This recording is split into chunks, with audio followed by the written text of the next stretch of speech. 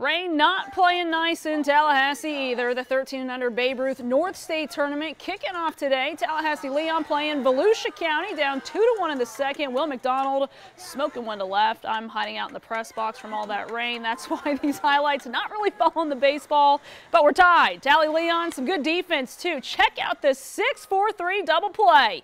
Can we talk about that scoop and stretch from McDonald's at first? Yeah, I gotta love that. This game, it was called right after that play though because of the rain. And sad news, we still don't have a winner because the game still not played and it's not going to be made up until tomorrow. All games were canceled for the rest of today. So they're gonna have to figure out the schedule. We'll be sure to update you guys when we get it.